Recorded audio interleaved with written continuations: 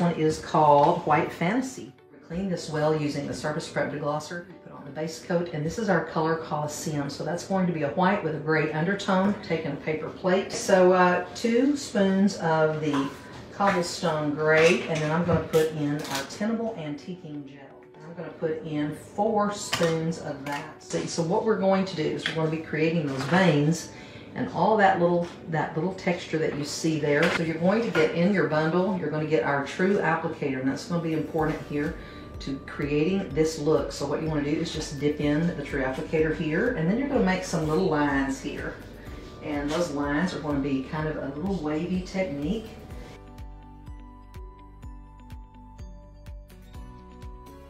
To take your dry roller and you're going to roll over that just to continue to soften and blend this out a little bit.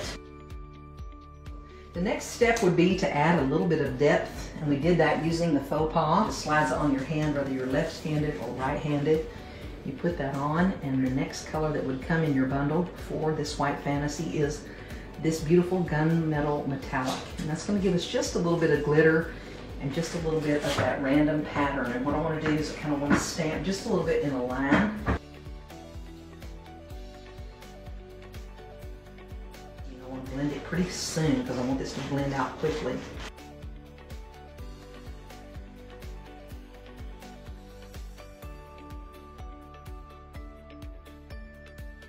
We're going to take our whitewash antiquing gel over this whole thing and we're gonna soften down the entire piece.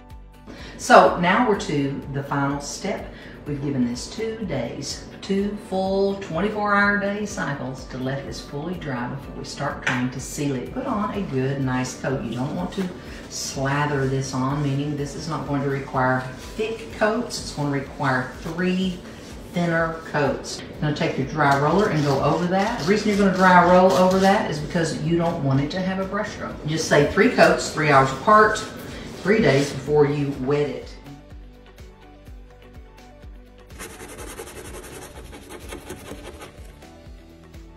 Talk about how to care for this later. In other words, after that three day time period is passed, you can use household cleaners that you're normally used to using, such as any spray cleaner that's antimicrobial, any household cleaner, whatever you wash dishes with, it can't even hurt the countertops. That's yeah. how I clean my countertops.